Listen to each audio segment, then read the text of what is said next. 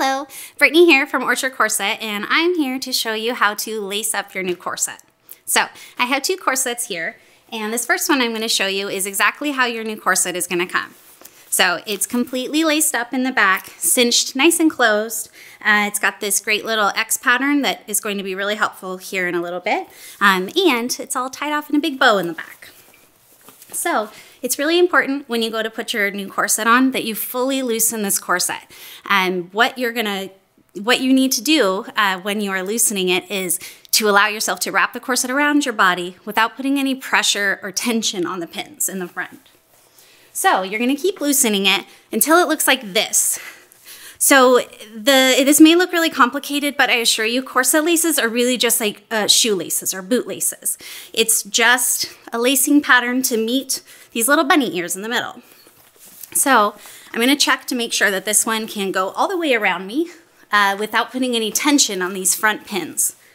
Yep, and I totally can. So I have a mirror right over here and I really suggest that you also use a mirror for this.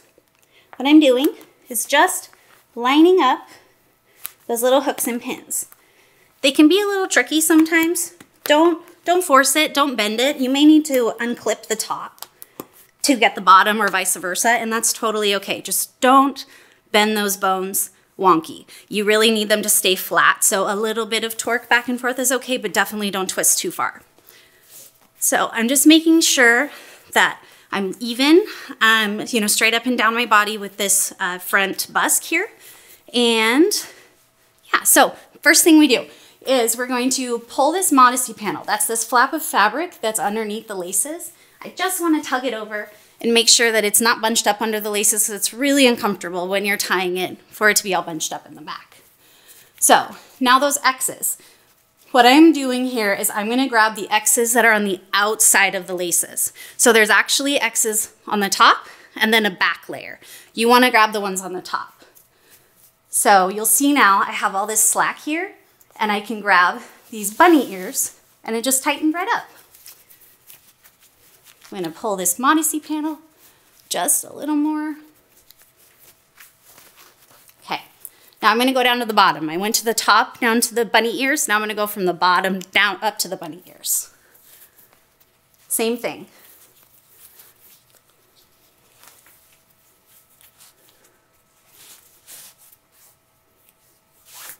All right, that's feeling better. Still not, not pulling on it too hard, just kind of making sure that the smallest part of the corset, the waist tape, is also sitting in my natural waistline when I'm lacing it in.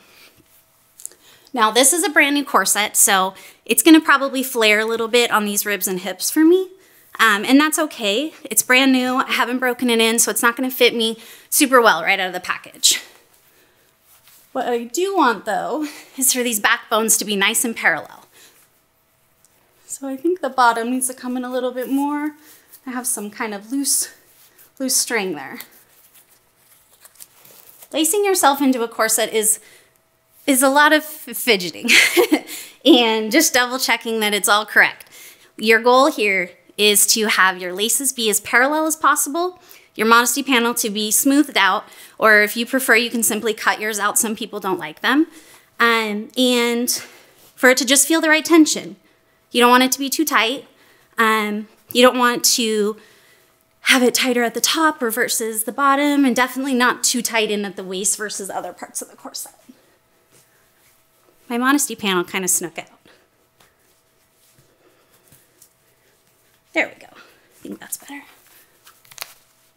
Pretty good. All right. The first few times you do this, it's going to be awkward, I promise. But I also promise it's going to get much easier the more often you do it. If you have a mirror, really helps a lot. And also just making sure it's the right size.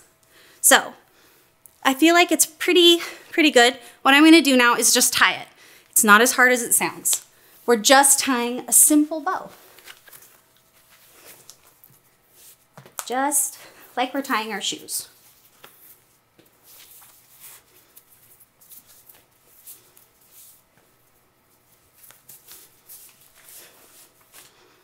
Just like that, except I pulled it out. It's really for dramatic effect. Okay, just like that. So then you're gonna have this little ponytail just hanging down your back, and that's totally okay. You can also kind of tuck that little ponytail up into those laces, and you can hide your laces a little bit easier. The other way you can tie this off, our customers actually taught us this one, is, so now they're just hanging down again. We're going to cross. Now this is the bunny ear from this side. And I'm going to put it underneath this bottom portion of the corset and kind of tuck it up under here. And the same thing. Again, this is the, the bunny ear from this side of my body. So, the neat thing about this lacing technique is you don't end up with that tail hanging down. So you can hide your corset a little bit easier under your clothes and it's a lot easier to get it out of this versus having to untie the laces, you know, behind your back. You simply do that. Um, so this can often be a quicker corset lacing technique for those that maybe they waist train all day and they need to adjust it or just something like that. Fix this really quick. So, the one thing though we don't want you to do is we do not want you to wrap your laces and tie them off right at the waistline. So this is perfectly fine. What I've done in the back is I've crisscrossed those laces so those backbones stay nice and flat. What we don't want you to do though is what I'm gonna show you right here. Is where you just cross it and you tie it off. This is a corset no-no.